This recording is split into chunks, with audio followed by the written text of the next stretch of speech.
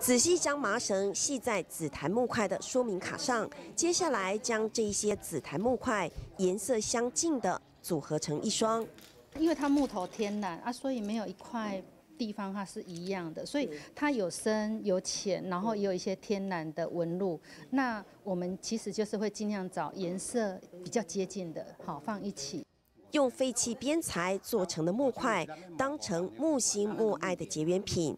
志工张银灯用心再用心，很细不好做，哎啊，想说这次为了木心木爱要跟大家结好缘了，品质要做比以前更好一点。希望他拿到的话也是很欢喜。